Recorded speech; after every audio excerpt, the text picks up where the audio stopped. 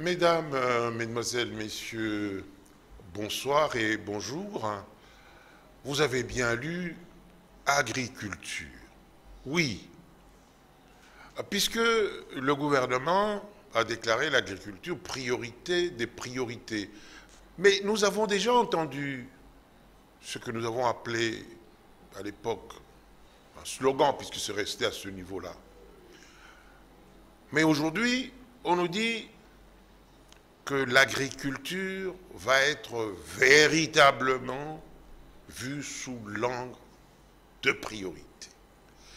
Et ici à Numérica et dans Profondeur, nous nous sommes dit, pourquoi ne pas accompagner le gouvernement en lui donnant des informations que nous avons pour essayer, pas d'éclairer, mais de faire part des expériences que nous avons vécues. Et j'ai invité pour cela un ami qui connaît véritablement la géographie de ce pays sous le plan de l'agriculture. Il s'appelle Mwongo Jean-Pierre. Jean-Pierre Mwongo. En fait, moi, je commence toujours par le prénom, puisque prénom, ça veut dire avant. Bon. Jean-Pierre Mwongo, que vous pouvez voir à ma droite, la réalisation vous le montre, est un habitué de Numérica. Et à ma gauche, Modeste Bonigaba, que vous connaissez très bien, il est lui aussi économiste. Parler de l'agriculture, c'est important. Ce pays ne devrait pas, n'aurait pas dû continuer à importer tout. Nous sommes entourés de neuf pays voisins. En fait, c'est nous qui aurions dû commencer à, leur donner à manger. Quand nous voyons au Tchad, dans les pays du Sahel, qu'on est en train d'irriguer des plantations et que ça marche, mais nous, nous avons des rivières, des cours d'eau, mais partout. Jean-Pierre Mongo, bonsoir et bonjour. Bonsoir et bonjour, Jean-Pierre. Modeste Bonigaba, bonsoir et bonjour. Bonsoir et bonjour, monsieur Kiban. Première question à monsieur Jean-Pierre Mongo. Vous me contredirez si je me trompe. Je crois qu'aujourd'hui, en République démocratique du Congo, tout est devenu prioritaire. Alors, on dit agriculture, priorité des priorités. Priorité des priorités, là où tout est prioritaire. Est-ce que ce... Qu'est-ce que vous, vous pensez d'abord? C'est pas un piège, hein, Non, non, tout est devenu priorité, oui et non. Euh, nous sommes maintenant dans un monde extrêmement ouvert. Et les réseaux sociaux montrent que tout peut être priorité à tout moment. Mais nous subissons la dictature des priorités, la, dictature du très court terme.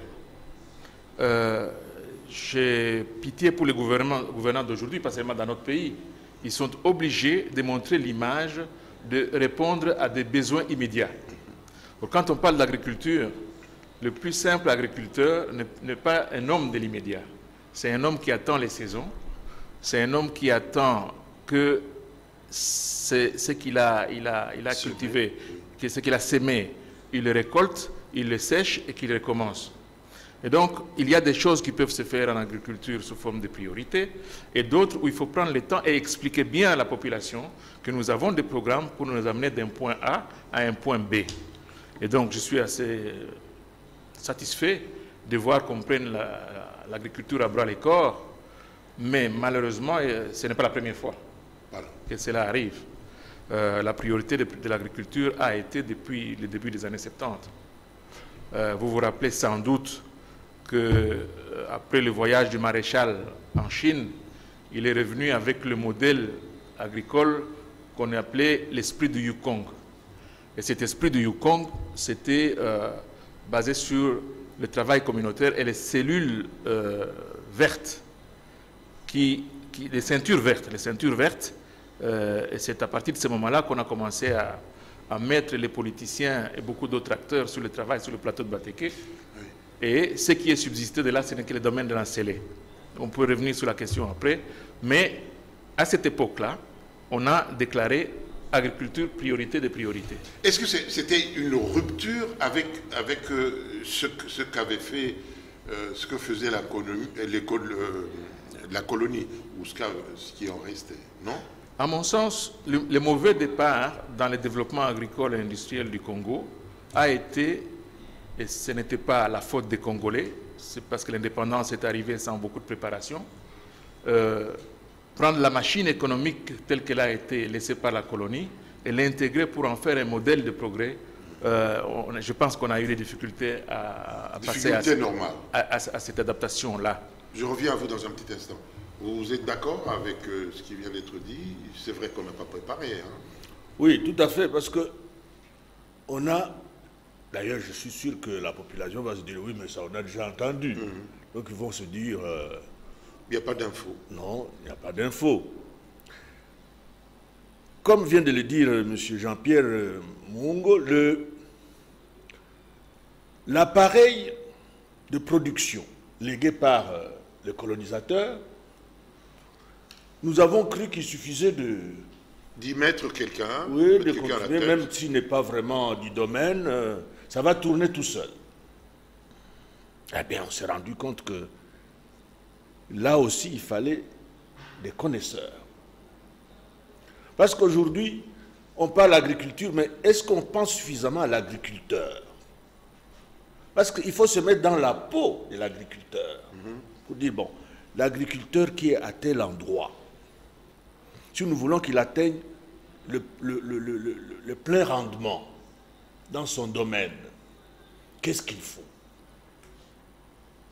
À ce moment-là, on se, va se rendre compte qu'autour de l'agriculture, il y a tout un faisceau d'autres facteurs qu'il faut apprêter pour que lorsque le producteur arrive à son plein rendement, il puisse effectivement aussi trouver des voies pour évacuer ce qu'il a produit.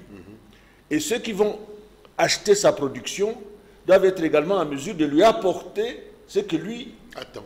attend.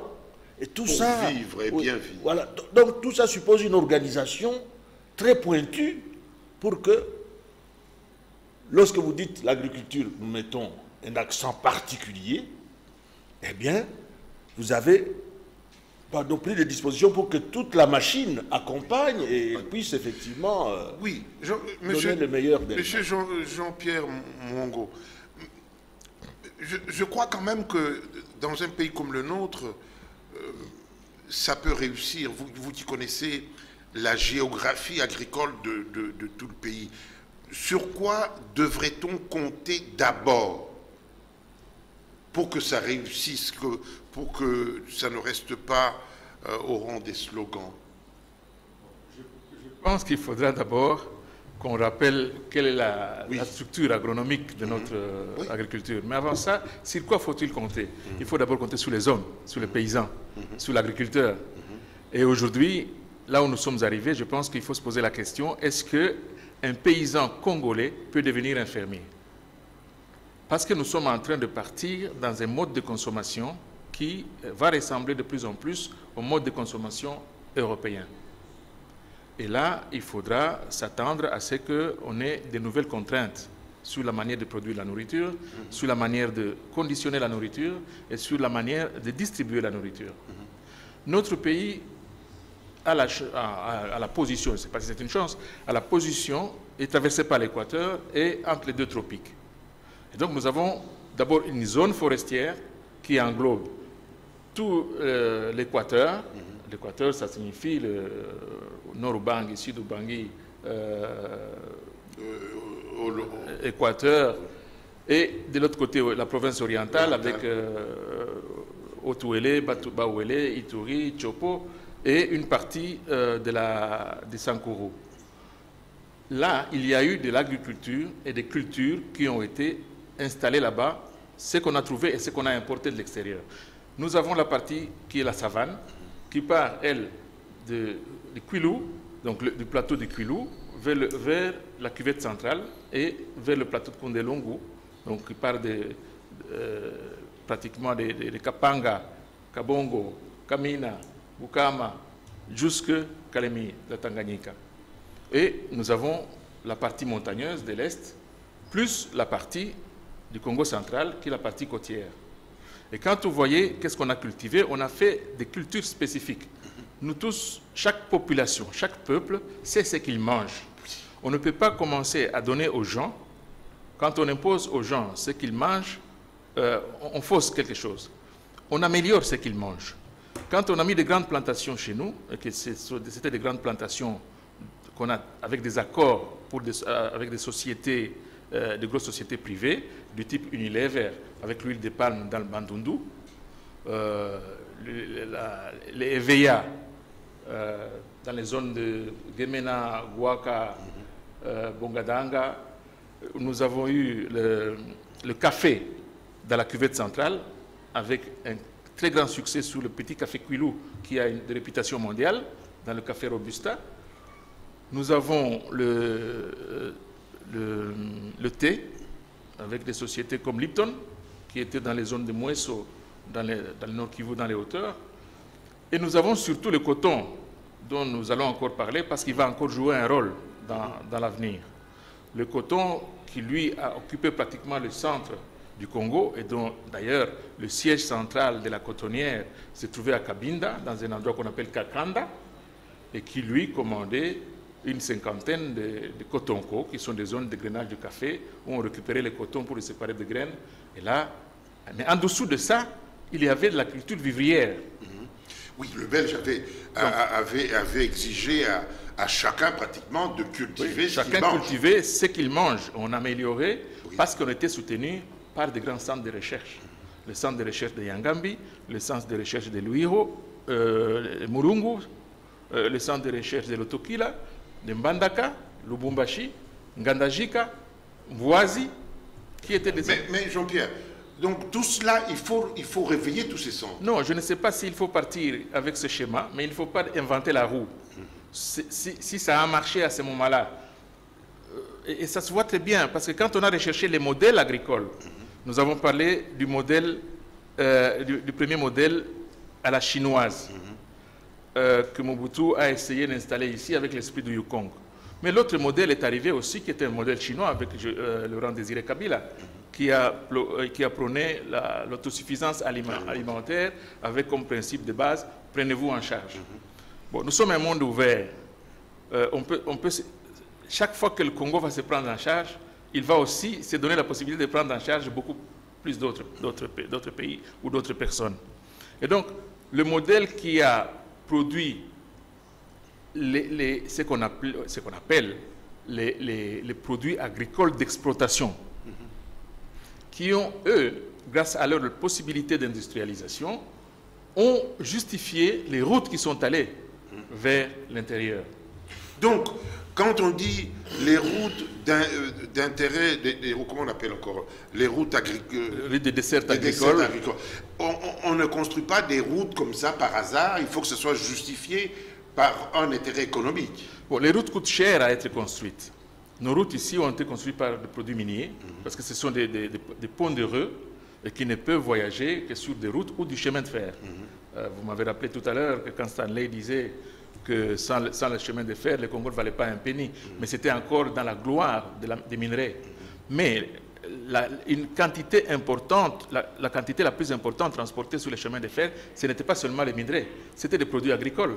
Euh, donnons un exemple. Aujourd'hui, on est en train d'amener des enfants à Kanyamaka CC, on produit du maïs, et Dieu merci, on a amélioré le rendement ou la rentabilité du maïs, la productivité, grâce aux, aux améliorations technologiques qui sont mises en place par l'ITA. Et quand le train amène le maïs à Monedutu, il revient avec quoi? Il revient vide. Donc, il y a euh, les- routes, si transporter le maïs ou le manioc pour les besoins locaux, ça, Ça coûte, ça coûte cher. Pour faire un million, euh, un million de dollars pour un kilomètre de route, il y, a, très peu de financiers qui vont, le faire. Par contre, quand on va transporter des produits industrialisables, du style le coton, l'huile de palme, euh, le, caoutchouc, toutes choses étant égales, on va justifier qu'on puisse amener une route à Kabinda qu'on puisse amener une route à, à toutes ces zones qui sont tout à fait enclavées, euh, comme, elles sont aujourd'hui dans l'ancienne province de l'Équateur, l'ancienne province du Kasaï et l'ancienne province de Bandundu. Très bien. Cher ami, maintenant, je crois que nos compatriotes comprennent qu'une route, euh, elle coûte déjà cher, on ne va pas la faire parce qu'elle doit prendre du manioc, amener à Kinshasa et rentrer, ren- rentrer vide ou l'inverse. Oui, c'est vrai, mais une fois qu'on a compris Oui, qu'il y a un potentiel, parce qu'on ne peut pas non plus attendre qu'il y ait déjà des quantités à transporter pour construire la route. Donc il faut anticiper. Il y a toujours un temps, en quelque sorte, mort, un temps où le rendement n'est pas optimal. Optimal. Il faut simplement penser globalement le Congo et dire, tiens, bon, voilà, euh, il y a tel coin, comme l'a bien décrit notre ami Jean-Pierre, où il y a une forte, euh, comment dirais-je, possibilité de produire telle capacité, telle qualité de produit. Et à tel autre endroit, c'est plutôt tel produit. Et à ce moment-là, on lance un programme de construction routière qui puisse tenir compte justement de ce potentiel réalités, qui, oui. qui- qui- qui- qui est plus ou moins euh, un peu partout sur l'ensemble du territoire. Et à ce moment-là, moi, ce que j'ai toujours euh, dé- dé- déploré, c'est qu'on lance une route dans un coin et on laisse tout le reste, comme si fallait d'abord attendre de terminer cette route-là avant de commencer l'autre. mais ce sont les moyens, papa. Non, non, non. Parce que justement, les moyens, on ne les a pas parce qu'on n'est pas suffisamment attractif tout le moment. Lorsque un investisseur veut euh, s'engager, il regarde d'abord comment ça fonctionne là-bas. Il arrive, il trouve que euh, ça ne fonctionne pas bien. Ils se retirent. Il dit non, je ne vais pas là-bas. Parce qu'en plus, comme l'a dit Jean-Pierre, le monde est devenu tellement ouvert que c'est devenu comme un marché mondial. Effectivement, aujourd'hui, il, il mérite ce nom-là. Un marché mondial où l'investisseur a son, son map monde dans son bureau. Il regarde, tiens, moi, c'est, je vois que là, il y a concentration de tous les facteurs dont je- j'ai besoin pour rentabiliser mon affaire. C'est là qu'il va. Mais lorsqu'il regarde, il dit, tiens, là-bas, il y a la- l'insécurité juridique, judiciaire et toutes ces choses-là. Même s'il y a d'énormes potentialités, comme c'est le cas ici chez nous, il va se dire, j'attendrai encore un peu. Oui, il se dirait, je fais ça, je, Mais je fais un gagne très vite. vite, là. Oui, je gagne mais, vite. mais mon- pas, pour, pas pour, longtemps. 30 ans. Or, un, un bon investisseur, c'est celui qui vient pour 30 ans.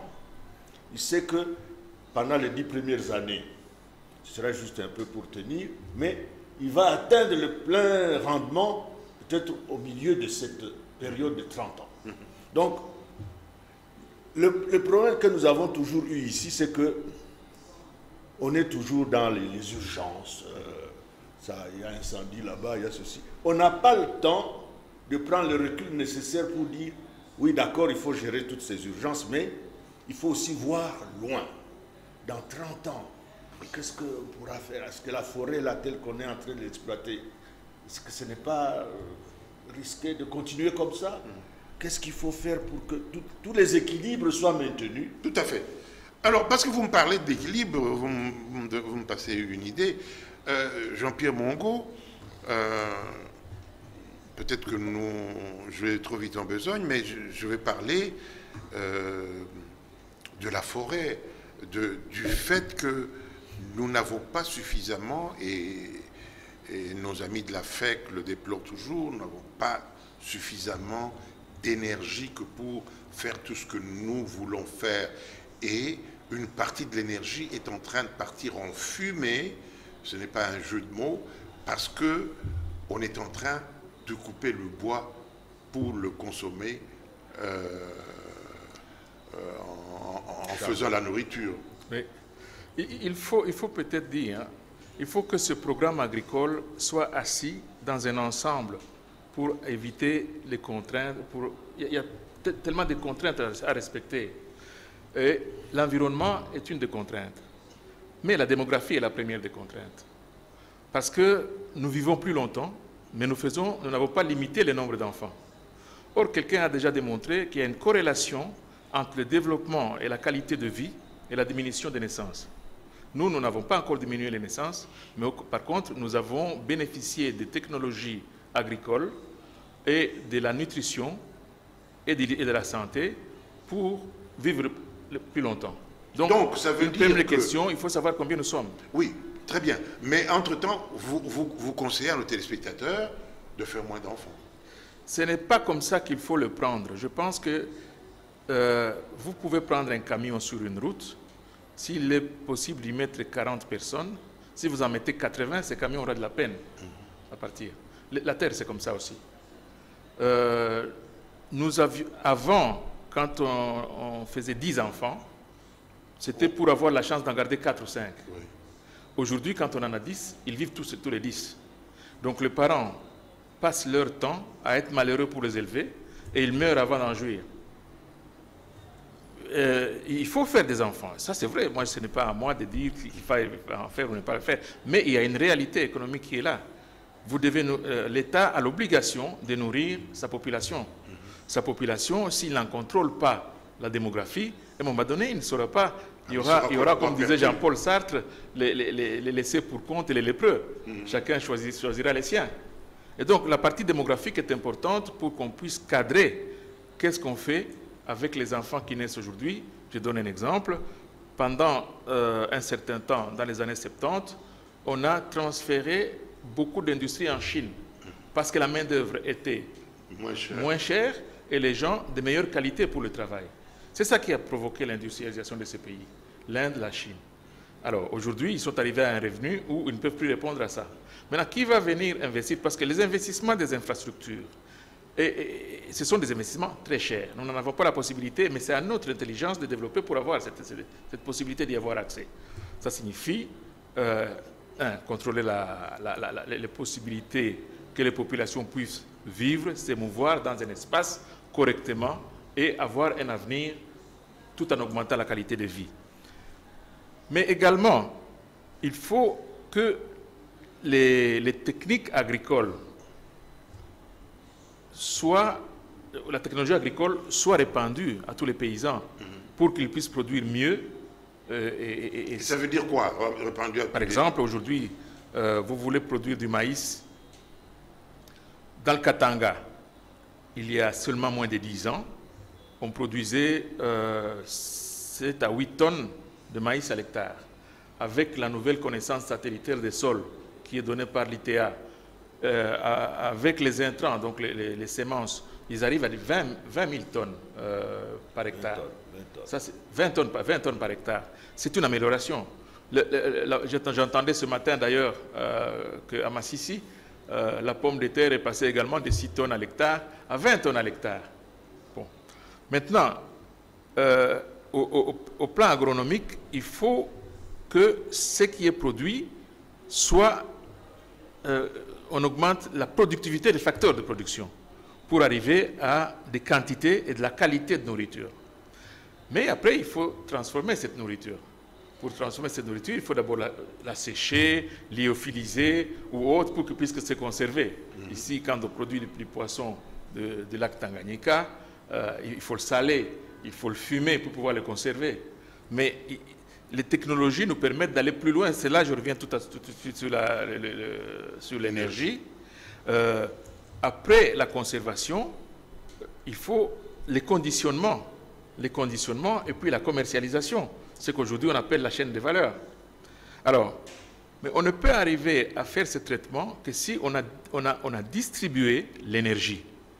Et une des, plaies des, programmes euh, comme celui des ceintures vertes, Prenez le, le, plateau de Bateke et prenez entre la rivière Kwango et Sélé, tout le monde, depuis des années, a eu des plantations et des champs là-bas. Ben Mais vous n'avez jamais vu un silo de conservation de tout ce que l'on produit.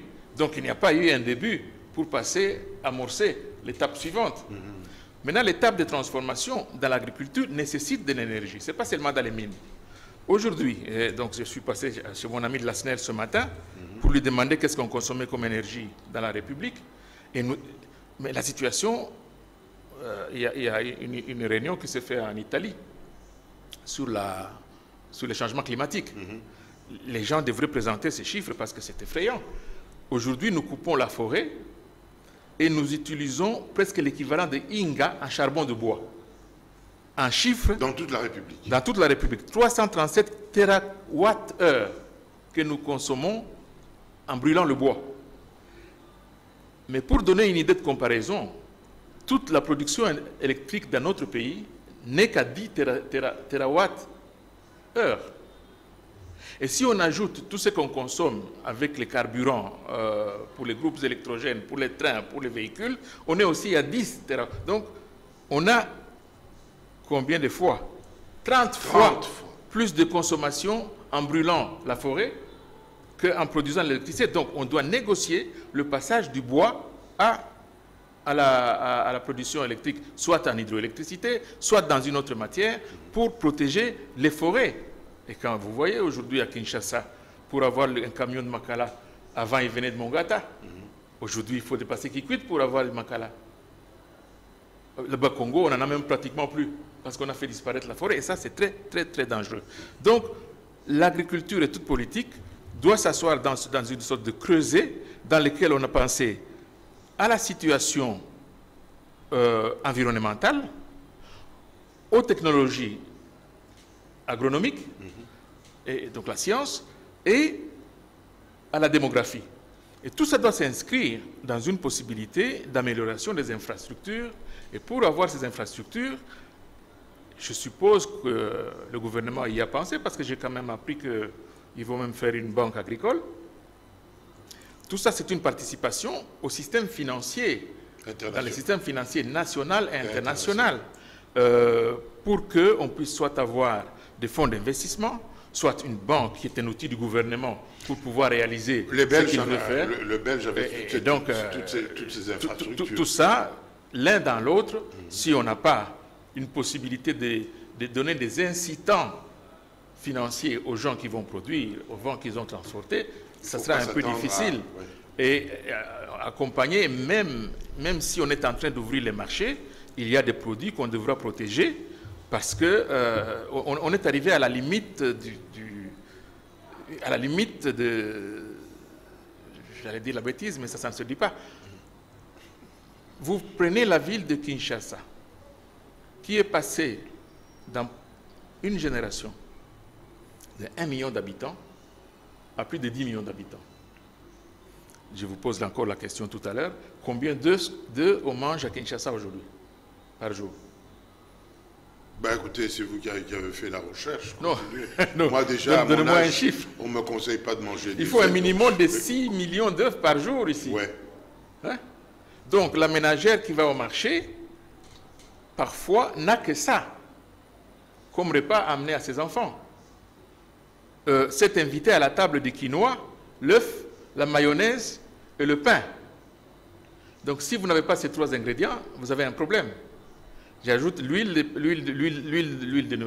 cuisson et le sel. Et tout ça est importé.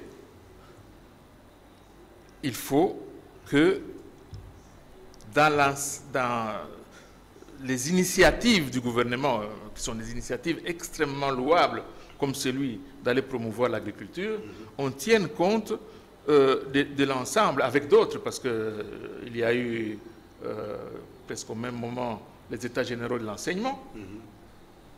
et, ça, qui est-ce qui... Qu'est-ce qu'on va donner comme programme de cours demain pour appuyer l'agriculture?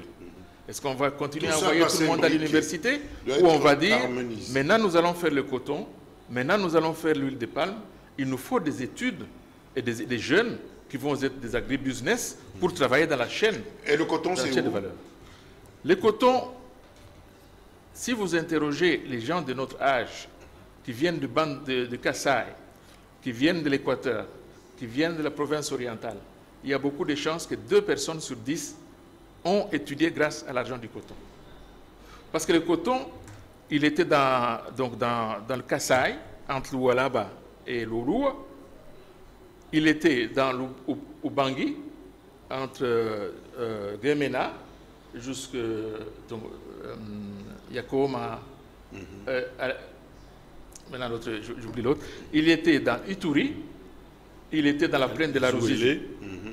Et donc, nous avions à peu près une cinquantaine d'usines pour égrener le coton. Et le coton était géré par des, des- des- des- on appelait ça les coton, cotoncos. Et la centrale de Cotonco, qui est la cotonnière, qui était cotée en bourse en Belgique d'ailleurs, avait son siège à Cabinda, dans, dans- dans- le, dans le Lomami.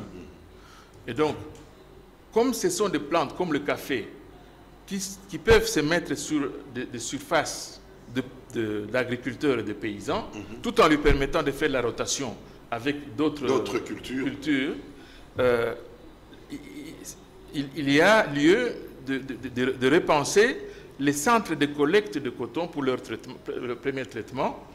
Et euh, je ne sais pas si vous connaissez ce qu'on a appelé les Golden Triangle pour le coton, le, le- le- le triangle d'or. C'est entre Samba, Congolo et euh, Lubao. Oui, mais les Belges ont, ont fait ça, mais ils n'ont pas laissé beaucoup d'infrastructures là-bas. hein, Non, il, notamment il- dans- il en est resté. On a récupéré le programme coton dans les années, dans les années 80 et on a repris toutes les machines qui étaient là-bas pour essayer de repartir. Le programme s'est buté contre plusieurs euh, contraintes qui n'ont pas permis la démarche.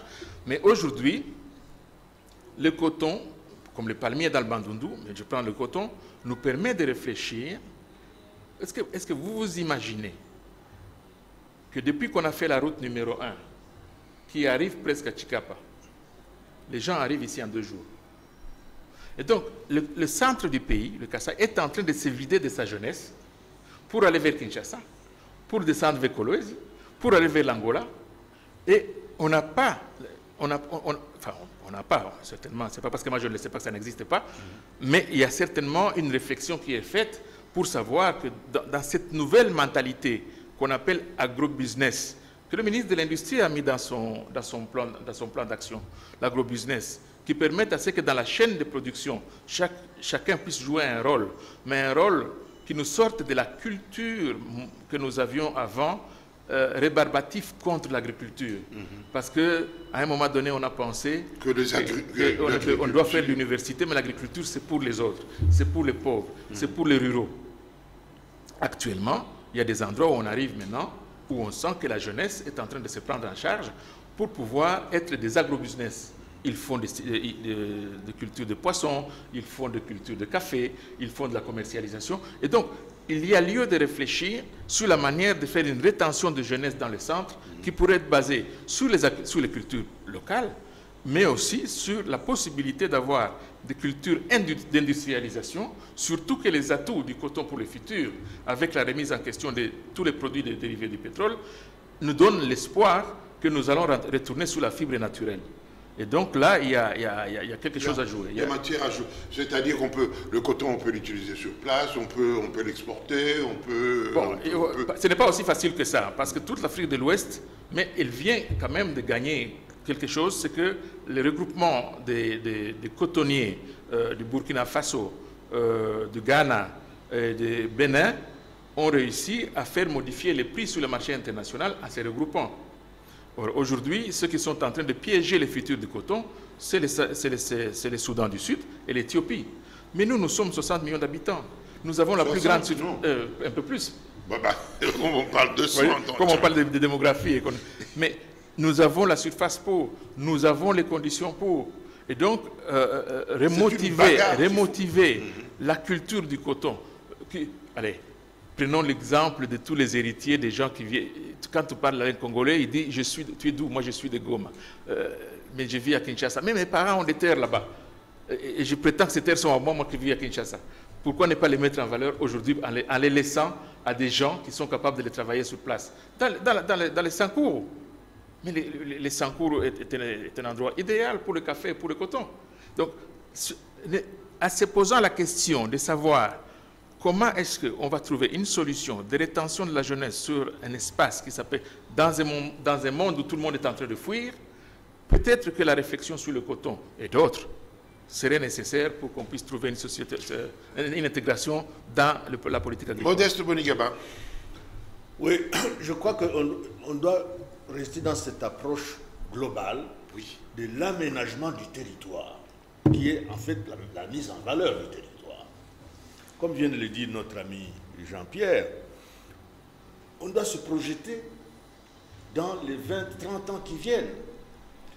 Et à ce moment-là, si le préalable, qui est toujours un peu mis de côté parce que c'est c'est là où ça fait mal, le, le préalable qui est celui de s'imposer une discipline de fer, nous tous, à commencer par les gouvernants, pour que tout l'argent qui doit être qui doit rentrer dans les caisses de l'État y arrive effectivement. Et lorsqu'il en sort, c'est uniquement pour régler les vraies créances de l'État. Je vous dis que si nous arrivons à atteindre cette, ces seuils-là, c'est nous qui refuserons l'argent venant de partout. Parce que l'argent, lorsque vous regardez les places financières mondiales, les milliards qui, qui vont d'une place à une autre, à la recherche de bonnes opportunités, ça, ça- nous, montre que ce n'est pas ça le problème. Le problème, ce n'est pas où trouvera-t-on où trouvera-t-on l'argent. Non, C'est d'aménager des espaces, en fait, de, de c'est l'attirer. de, de vendre le Congo au monde en disant voici la meilleure destination de vos investissements. Tous les problèmes dont on a parlé, des routes qui coûtent cher, de l'électricité qui coûte cher, tout ça, c'est tout simplement parce qu'on raisonne à un petit pa- pauvre qui n'a pas beaucoup de moyens. Mais lorsque les moyens sont là, on peut démarrer 10, 15 projets routiers en même temps. Donc de tous les coins du pays. Et surtout que chez nous, il y a même des projets qu'on vous offre, vous refusez parce qu'on ne vous a pas donné un pourcentage. Voilà. c'est voilà. quand même terrible. Donc c'est hein. ça, c'est ce seuil-là que nous devons d'abord atteindre, où nous devenons sérieux et crédibles. Nous aurons des financements qui viendront de partout. Et à ce moment-là, tous les Congolais vont se dire, ah, maintenant on dirait que les choses commencent, les choses sérieuses commencent. Au lieu de partir en Angola, au lieu de partir Oui, à oui, Paris, nous on reste là. moi je reste là. Et ceux qui sont là disent, non, non, nous Non, on rentre. ouais. Parce que c'est ce signal-là que les Congolais attendent. Lorsqu'ils vont se rendre compte que, enfin, on- tout le monde a compris ce qu'il fallait, c'est cette discipline-là qui est aujourd'hui absente, qu'il fallait d'abord s'imposer.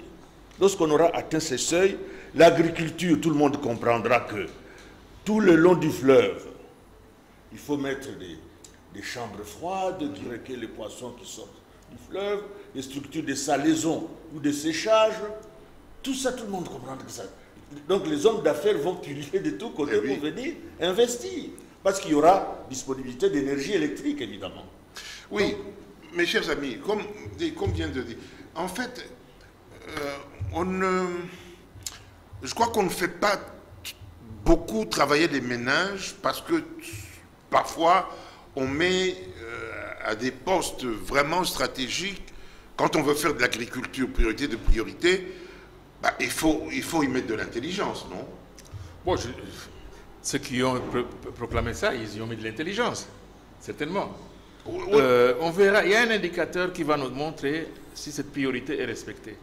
Je n'ai pas eu le temps d'aller regarder dans la, la loi budgétaire de cette année-ci quelle est la partie qu'on a consacrée à l'agriculture. Maintenant, si nous avons une croissance des revenus dans le futur, on va voir d'année en année si la priorité a été respectée au niveau budgétaire. Euh, parce que quand on veut faire une priorité, on doit y mettre les moyens. Bien sûr.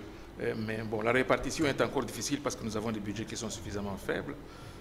Mais euh, la situation des pays n'est jamais stable. C'est une stabilité qu'on recherche tout le, tout le temps. Mais je reviens sur euh, l'élément de départ, c'est qu'il faut absolument qu'on puisse vraiment, euh, au, au plan politique, arrêter de nous occuper de subir le dictat des priorités et des urgences. Parfois, il y a des urgences qui n'en sont pas. Par exemple, Euh, les urgences de mettre en ordre les- les- la- la- le, le bien-être des députés, euh, les, les institutions. Euh, on- passe beaucoup, beaucoup de temps à discuter euh, de savoir quelle est la couleur qu'on va prendre tel, tel ou tel bâtiment. Euh, mais, mais les choses essentielles, c'est qu'il il faut former la population à attendre des résultats et pas les promesses des résultats. Et, là, on est en train de parler de quelque chose de très important, parce que, un, on est en train de casser l'arbre sur lequel nous sommes assis, un, au niveau minier, parce qu'on n'est pas en train de faire très, très attention sur euh, la consommation des produits miniers. Rappelez-vous de ce qu'était Mujimai et ce qu'il est devenu aujourd'hui. Mm-hmm. Rappelez-vous de ce qu'était Chikapa et ce qu'il est devenu aujourd'hui. Euh, mais nous, nous, faisons la même chose avec l'agriculture. Je vous ai parlé de ce que nous faisons comme gaspillage, enfin gaspillage ou utilisation de la forêt. Mais euh, nous devons nous asseoir et prendre à bras les corps les problèmes actuels pour les projeter, comme dit Modeste, dans le futur en disant, cette année-ci, nous voudrions arriver à autant de tonnes de maïs dans tel endroit, à autant de tonnes d'arachide dans tel endroit, pour que l'industriel qui arrive sache très bien qu'il va compter sur ces quantités de manière permanente pour faire sa transformation. Nous devons euh, nous asseoir et dire la priorité dans chaque province ou dans une province, nous devons faire autant de kilomètres de route cette année-ci et que ça soit réaliste, que ce ne soit pas des promesses qui ne sont pas réalisables. Nous devons dire, nous voulons accroître les revenus de l'État d'autant de pourcentage cette année-ci. Et le goal, c'est d'arriver à faire autant dans 10 ans et voir chaque année comment est-ce qu'on a monté les escaliers pour y arriver. Et donc, il y a des paradigme qui doit changer dans la manière de considérer les affaires publiques et de, se dire, tiens, les bateaux dans lesquels nous sommes, euh, s'il y en a des gens qui constatent qu'il va couler et qu'ils continuent à dire qu'il va couler, eh bien, ils vont mourir avec. Une, une belle image. Qu'est-ce que vous dites en conclusion La conclusion, c'est que il faut continuer à insister sur le fait que cette discipline que nous devons nous imposer ne doit pas être remise à plus tard, parce qu'on a toujours cette, cette tentation de dire, bon, les autres feront ça, mais moi, je continue un peu avec euh, le, rythme actuel. Parce qu'il va falloir, va falloir se dire, aujourd'hui, ce Congo peut mobiliser 20 milliards de dollars par an si nous atteignons ce niveau de discipline. Oui. Et c'est à ce moment-là qu'on commence les grandes choses. Parce que quand on a 20 milliards, bon, ce n'est pas comme quand on a 5 Vous dites par an, hein, oui. Donc à ce moment-là, l'éducation, enfin, on va s'en occuper sérieusement. Mon cher ami, l'agronome aujourd'hui, l'agronomie, je crois que ce sont des, euh, des, facultés qui, que, les gens commencent, vont commencer à, à, abandonner, à fuir. Mais la logique serait que quand vous décrétez l'agriculture priorité des priorités, que vous puissiez regarder la vie que mènent les agronomes que vous avez pour que cette école incite les, autres à, venir, n'est-ce pas Tout à fait. Tout, tout, repose sur les hommes. Si on ne prépare pas les hommes, on ne fait rien. On peut donner toutes les machines, tout l'argent. Si les hommes ne sont pas... Euh, on, focalise d'abord sur le nombre d'hommes qu'on va avoir, la qualité des hommes qu'on va avoir, hommes et femmes sans doute. Mais à ce moment-là, on, va tourner en rond. Euh, je pense qu'il faut vous savez, il faut la discipline et l'État, c'est la seule institution qui, peut, donner de la discipline en formant les gens, même de manière répressive. Ah oui, exactement. Parce qu'il euh, y a un moment où il faut arrêter avec euh, que euh, la descente aux enfers. Le plus grand nombre de gens se retrouvent dans leur identité de Congolais. cette identité demande à ce que dans des domaines comme l'agriculture, on puisse non seulement suffisamment manger, mais manger de qualité en produisant, en donnant du travail à nos propres compatriotes. Oui, mesdames, mesdemoiselles, messieurs, oh, il y a beaucoup de choses à dire sur l'agriculture et je me ferai le plaisir euh, d'inviter dans, dans l'autre émission Chassons la pauvreté pour la seconde fois, monsieur Mwongo, pour que nous continuions à accompagner le gouvernement. Il y a de petites ombres qui, sont, qui peuvent euh, être quelque part là-bas que nous, que nous pouvons enlever. Ce que moi je souhaiterais pour, mon pays et ceux qui sont avec moi ici, c'est que demain, après-demain, nous soyons fiers sur toutes les places, places de Paris, de Londres, d'être fiers de dire aux gens je suis, je suis congolais. Et on me dit que de temps en temps, certaines personnes euh, ne sont pas fiers de se déclarer congolais. Il est temps que nous puissions tout mettre en œuvre pour relever ce pays. Et agriculture, priorité de priorité dans un pays comme le nôtre, où ce ne sont pas les eaux qui manquent, ce ne sont pas les terres qui manquent, je crois que c'est une bonne idée, mais pourvu que nous puissions l'encourager. Et dénoncer ceux qui, ceux qui vont aller à l'encontre de cette idée. Nous savons qu'il y a des ministres qui ont, dans ce pays, refusé de signer de contrats parce qu'ils attendaient d'abord qu'on leur donne leur pourcentage.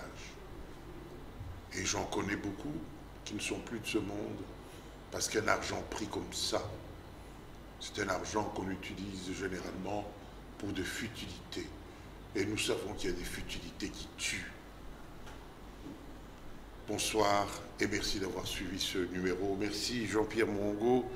Merci euh, compagnon euh, Bonigaba. Et à la prochaine. Merci chez vous d'avoir suivi ce, numéro. C'est vrai qu'il fallait un peu plus d'attention. Il y a beaucoup de choses techniques, des choses qui s'entremêlent.